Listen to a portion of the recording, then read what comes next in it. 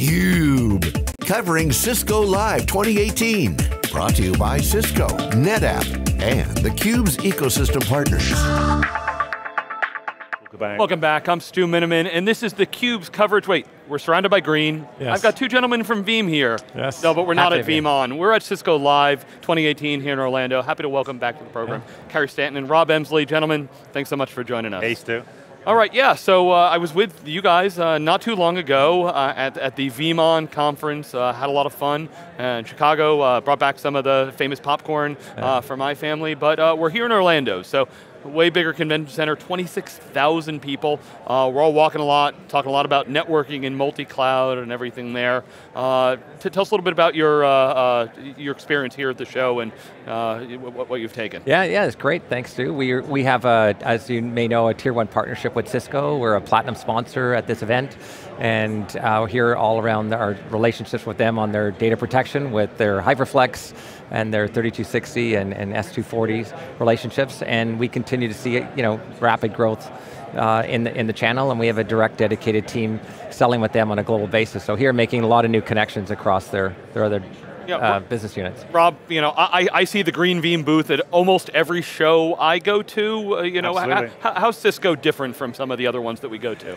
Well, you know, one of the things that um, you know, Chuck Robbins talked about in his keynote yesterday was you know, how they summarize you know, the focus of the company. And there's two specific areas that Veeam works very closely with Cisco on. One is you know, the, uh, the uh, powering the multi-cloud and uh, unlocking the, the power of data.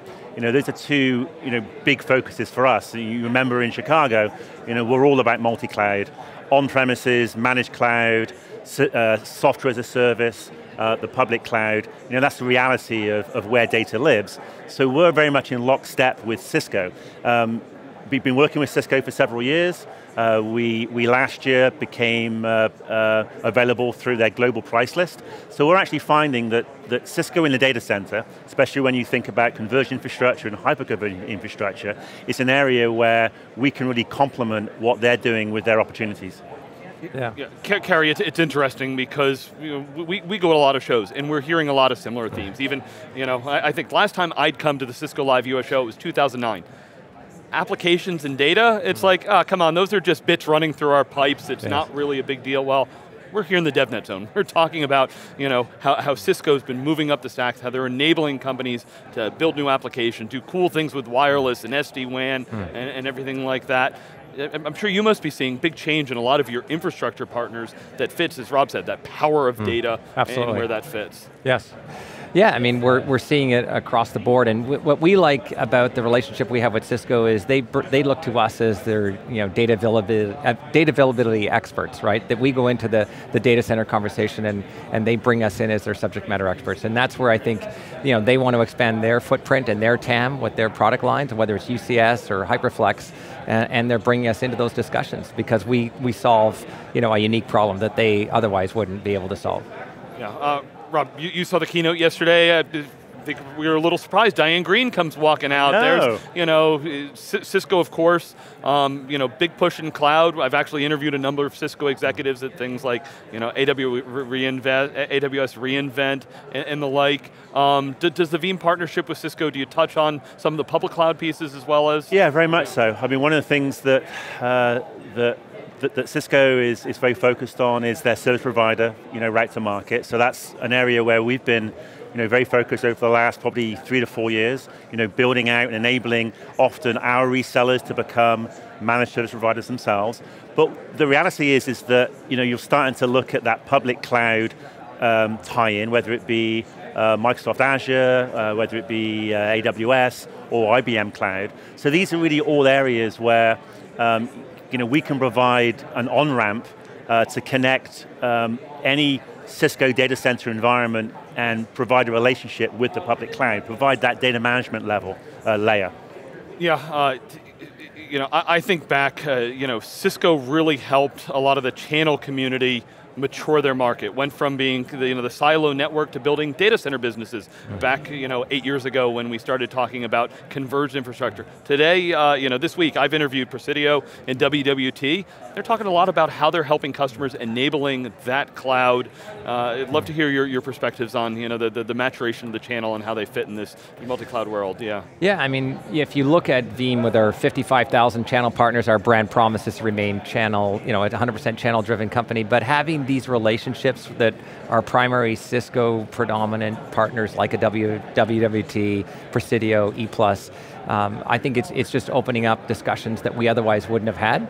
And you know, we're seeing 50% of the opportunities that we're closing in the field are Cisco-led opportunities that are being driven from these new channel partners. And so again, it's, I, I, think this is the one plus one equals three story that we talk a lot about, that we're bringing a lot to the table in 50% of the opportunities for them, and vice versa for us. Yeah, one of the things that that we really like about Cisco is, is their focus on their partner community is extremely high uh, both from an enablement perspective and an education perspective. You know, they, they have a, uh, a fully, uh, fully resourced partner marketing team, and we've been doing a lot of work with them. You know, one of the things that, that Cisco has been transitioning to, which sort of fits into your space, is the whole move to uh, marketing in a digital world you know, and the, the whole need to change the type of content, you know, and this type of content, if you think about, you know, the video uh, uh, sort of assets becomes so much more important. So we've been working very closely with them to do joint digital marketing, you know, it's very easy sometimes to do joint event-based marketing, but when you start getting into digital, you really have to think outside the box about how you bring uh, two companies together to meet kind of in the, the digital world. So we've been really doing that to drive joint opportunities, and that's been something that um, you know, we've really you know, got some success with from, from uh, uh, our relationship with Cisco. In fact, you were just in Barcelona, and? Yeah, yeah, we, um, you know, every year they run a marketing summit yeah. For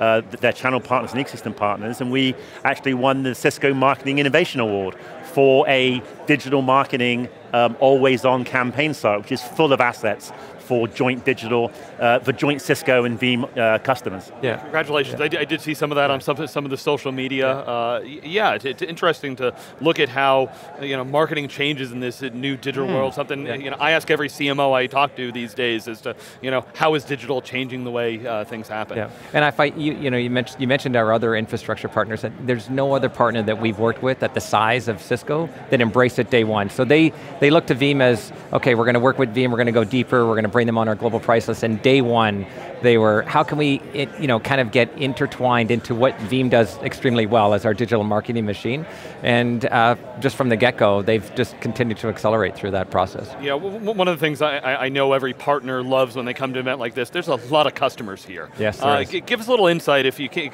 either specific examples or give us some of the themes you're hearing from customers at the show. What's, what's top of mind? What are some of the biggest challenges that they're facing today? Yeah, I mean, I think what they're looking at doing is, you know, from a refresh of legacy backup solutions and, uh, and replication solutions into a modern, modernizing their data center, and so they're looking to Cisco as their experts, you know, through the last decade plus, and now that Veeam is, you know, kind of tied directly in with Cisco in some of those relationships. So it's, it's from, a, from a refresh standpoint, from modernizing their data center to the hybrid cloud strategies that it's yeah. intertwined. You know, we fit very well into those discussions and, and we're seeing our customers come to us in these you know, large ELAs where Cisco is, is bringing us in as part of those discussions. So again, where otherwise we would have had a hard time getting into it, their customers are, are coming saying, what, what is the relevancy? What, should I really be looking at this? And Cisco's backing up those discussions. I don't know. I mean, certainly to, to, to tap down on the, on the data center, converged infrastructure and hyperconverged infrastructure is, is top of mind for a lot of the customers that are coming by the booth. You know, certainly, um, you know, which, which works well for us because you know, some of our relationships with um, you know, our other storage um, alliance partners, whether it be Pure or NetApp, you know, big partners of, uh, of Cisco. You know, so you know, rather than um, you know one plus one equals three, you know, it's one plus one plus one equals five. You know, quite often, you know, we're kind of going together as a, as kind of a a group in order to go after opportunities. So that's definitely an area. If you think about conversion, hyperconverged, it's always highly virtualized. So that plays very well to where we've you know, built the company from, a, a, big focus on virtual machine availability, you know, but really just more moving that now to sort of the whole concept of data management across a multi-cloud world. Yeah, uh, Absolutely. Uh, you know, one of the things that, you know we talk at all the shows is that you know the pace of change and how receptive are customers to, to making changes. What, what, are you hearing from the customers here? Uh, you, know, you know, the, the storage market has long been, uh, long been, you know, it's sticky, it's a little bit yeah. entrenched, you know, making changes. Networking, we used to measure in decades as to, you know, you roll this out and then, you know, I'll wait for the next, you know, major speed bump before we'll do that, and you roll that out over years. Today, you, know, we think things are moving faster, but would love to hear, uh, you know, points or counterpoints well, that you're hearing. Well, I think that the customers are looking to Cisco indirectly to Veeam from removing complexity. And I think what they've seen in the past is they've deployed solutions that have bogged down their process. They're, you know, they look to the cloud as, as an agile environment and they, they look back with their legacy systems that they know they can't continue. And so, the, you know, from my standpoint, the customers that we talk to cons consistently is, are you going to be the platform that's going to allow me to embrace a hybrid cloud cloud and you know, to remove the complexity that I have and to be agile. And so you know, that's constantly what the Veeam messaging is, is solving, right? Mission critical backup and recover, recovery workloads and doing it with, you know, at a fraction of the cost and, and, and accelerating that Veeam speed. Yeah, we, I mean, if you just take the legacy backup market, you know, legacy, legacy backup uh, installed base, we, you know, it seems that the, the openness to change is greater now than I've ever seen it. And you know, I've been, I've been you know, playing around in this space for you know, quite a few years, but certainly recently, you know, we've, we found the openness to people to look for something new. You know, the, uh, you know, our friends at Gartner always used to say there, were you know, the th three things that people worry about, the three C's, cost, complexity, and capabilities. You know, and those are still very much top of mind around what causes a customer to say, hey, what I've been doing for the last several years it hasn't quite been getting it done for me. I think the big change is that backup as an insurance policy is, is, is no longer good enough. I think the ability to leverage your backup infrastructure and the data contained within it is really driving people to think about, you know, that's more of a value to me than simply having an insurance policy. Yeah, absolutely. You know, backup was never enough. we only do backup. I need to restore, but it, it's about that data. I uh, want to give you the opportunity. You know, you know, Veeam is, uh, I think we said, kind of a tweener. Um, you're not, you know, what I would consider an old company. You've always been a software company, born in the virtualization age. But you know, there, there's a bunch of newer, you know, developer focused and, and, and cloud native. Uh, you know, how, how does Veeam stay, uh, you know, and fight and compete against uh, you know, so, so some of the new ones uh, coming after this you know, multi-billion dollar market. I'll take that. Yeah. Uh, well, I think that we pride ourselves on innovation, we pride ourselves on iterating very quickly, and we pride ourselves on you know, adhering to our NPS score of 73, right, with our 300,000 customers. And what we you know, we, we are going to continue on our path on what's made us successful, and we know that there's always competition, there's lots of VC money out there, uh, and you know, it's not that we're, it's not that we're looking away from what the competition is doing, is that we believe with our 4,000 customers a month, or 133 uh, customers that we close on a daily basis across all segments of SMB, commercial, and enterprise, is indicative that our strategy is working. We're not going to stray away. We're just going to look to partners like Cisco and others to expand our target market, but stay true to the, the solution that we provided in that virtualization environment. And we've made, you know, you were at VeeamON, you saw the announcements that we're making to support, you know, additional workloads and additional environments in the, in the days to come. Yeah, I think our ability to evolve um, and adapt is, um, is second to none. You know, I think that, and, and, some of that is just based upon kind of the structure of the company. You know, we're, we're still, still private, you know, still pretty much, uh, um, you know, uh, we're, we're driving our own growth. You know, and I think that, that allows us to make decisions quickly and very um, strategically to allow us to go into the areas that I think people mm. um, instinctively know what is needed to evolve uh, in this space around supporting multi-cloud, um, supporting data as an asset, leveraging it as an asset. And I think that's you know, where we've been fueling both in an engineering perspective and a capacity to, to meet with customers and grow. And that's you know, certainly what's going to, I think, sustain us as we keep going forward. All right, uh, gentlemen, I want to give you the fi final word as to you know key takeaways you see here from Cisco Live 2018. Um, the, that we will be here for the duration of the time and our relationship with Cisco will continue to expand and that uh, we look forward to meeting everyone at the Veeam booth and walking through our, our product solutions and, and meeting the Veeam team and answering any questions they may have. But we're, we're thrilled to be part of the, the Cisco family and, and hopefully, you know, again, in the years to come that we'll just continue to expand our relationship. And I'll leave you with a, uh, an African proverb. If you want to go fast, go alone. If you want to go far, uh, go together.